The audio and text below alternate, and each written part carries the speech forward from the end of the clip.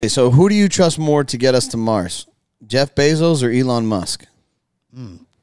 How fast do you want to get there? I want a successful launch. I want uh, there with the people, With the want the back, and people to come back. with a successful landing. Yeah. Who do you think? well, the, the only thing they didn't successfully land the first time boots was the rocket boosters, not the actual rocket.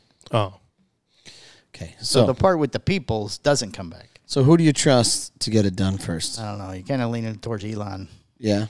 Why are you leaning towards Elon? I don't know Bezos' background with uh, that type of information. Uh, just because I'm not familiar, maybe he's a scientific genius too. I don't know. But Elon seems like he's more hands on, where Bezos pays people to be hands on. yeah. Now, who do you think? Uh, I think Elon. I mean, he's the pioneer of it, right? Yeah. I didn't even Yeah. know Blue Origin existed till this story.